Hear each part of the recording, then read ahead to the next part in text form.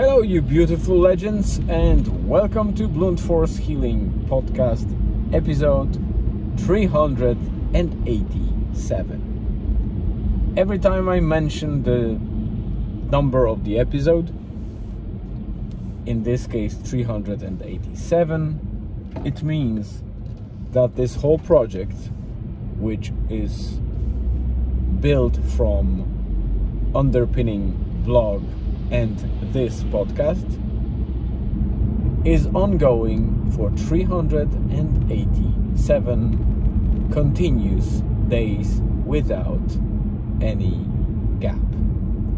So every single day I manage to write a post, a blog post, and record some form of a podcast, be it either audio version, which was the case for roughly about 200 and something episodes and then video and audio. If you're watching on YouTube or on Spotify video, you're the lucky bunch to see my beautiful face. and this video episode is actually number, I think, 165 or something like that. So you can deduct 165 from 387 and you will get the number of episodes that were audio only. The whole idea of this podcast is was and is for me to have a single core routine that I do my best to never break. And so far, as you know, it seems like it's working well. And if you're a person like like I was or I am, uh, meaning you know on the procrastination side, uh, being able to start new habits easily and excited, but remain motivated for three, four weeks max and then fade away, losing the whole habit or routine, then you understand, and I understand you, how hard it is for people with that kind of attitude to build anything that's lasting. This blog and podcast was something that I wanted to prove myself with that I can do it. And so far, so good because I crossed the magical barrier of one year already of blogging and podcasting.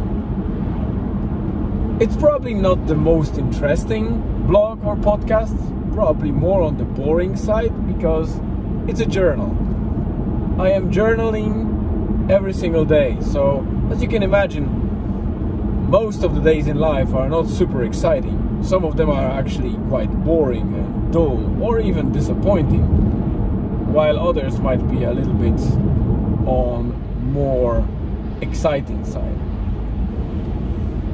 In this case, this episode will be fairly short. We are already 4 minutes in that was a long introduction, but as you probably can see behind the window, the weather is terribly gloomy today as opposed to yesterday. We have a lot of drizzle, it's very wet, which makes life a bit more miserable because if there's no sunlight, and everything is wet and gloomy and cloudy, obviously energy levels are dropping. And it is the case today as well. But there is upside for people like myself that are interested in foraging for some wild food, be it plants or mushrooms or animals. I'm not foraging for animals yet I am planning to do a little bit of seafood foraging in near future, but for now I mostly focus on mushrooms. And this is exactly where I'm going. Going to my lovely place that will still be probably quite on the dark side because it's very, very cloudy. But I want to try and see if I can find some nice mushrooms there because it's rainy the temperature is fairly good and there's not much to do at home well there's always something to do at home but I try to steer away from some of the chores from time to time. And to be honest, going into the forest beside the river is extremely relaxing, especially that this place is barely visited by any humans. Maybe some anglers that are going there for fishing, but usually not even I haven't spotted any walkers, even maybe somebody with a dog, but not on the Eany side, basically on the river side, but rather more into the forest. So we'll see what I can find. I found a couple of mushrooms yesterday evening before the sunset, but it was really, really dark uh, while I was there already after about half an hour it became almost impossible to see anything. So I have a torch with me or whatever the additional light, the headlight actually. So I have my hands free if I need. I don't expect to find much, but again, I'm not only foraging for food, but, but I also like to forage just for the sake of it. I love mushrooms. Their kingdom is very interesting. It's very exciting. It's a fantastic world to explore. And regardless if they're the species are edible or inedible or poisonous, all of them are beautiful and have their own distinct features and amazing, you know, history behind them. And in fact, very far in the past of the Earth's history, it seems like we came from the same branch as fungi. So, fungi or mushrooms are effectively our brothers and sisters on the genetic side, which not many people might know about. Because the discovery itself, I think, is fairly fresh. So it's not well known. And even to this day, some of the curriculums in schools are treating mushrooms almost like a part of the plant kingdom, which is untrue. Mushrooms are not plants, they never were. They are closer to humans than to plants, or closer to animals than plants. And in fact, some of mushrooms are parasitic, some of them are saprotrophic, which means they just use decaying matter and decompose dead wood or other thing like even animals and some of them are basically mycorrhizal which means they cooperate with plants and trees to exchange nutrients and it might sound a little bit out of this world, but yes, information. Seems like mycelium, which is basically what lies underground and releases the fruit bodies, which we call mushrooms, is responsible very often for the communication between tree roots. And helps trees grow and uh,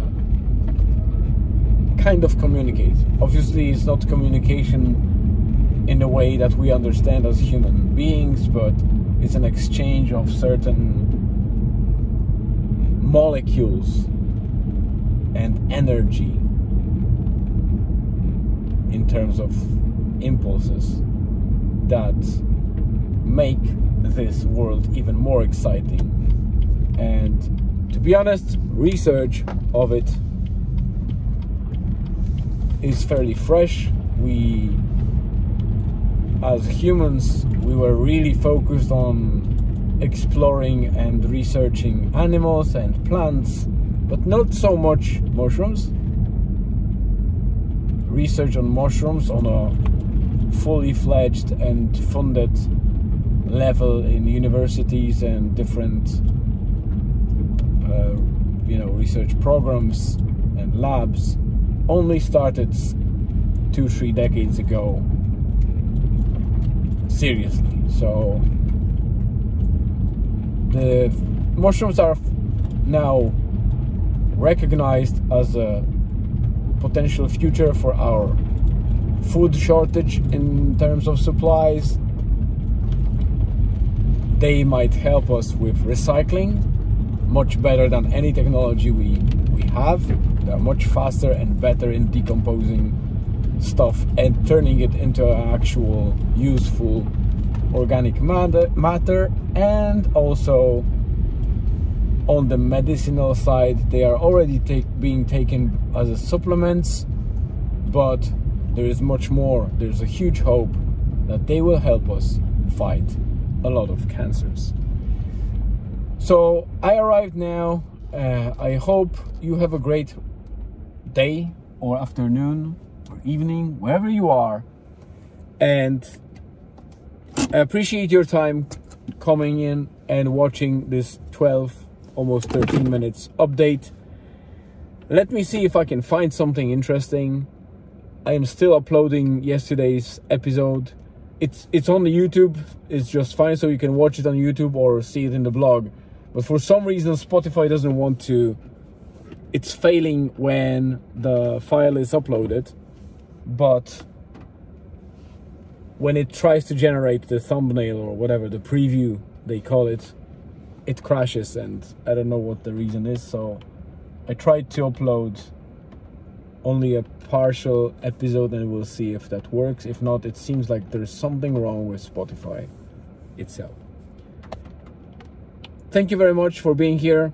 Stay tuned for tomorrow episode. Maybe, just maybe, I'll have something more exciting for you. See ya.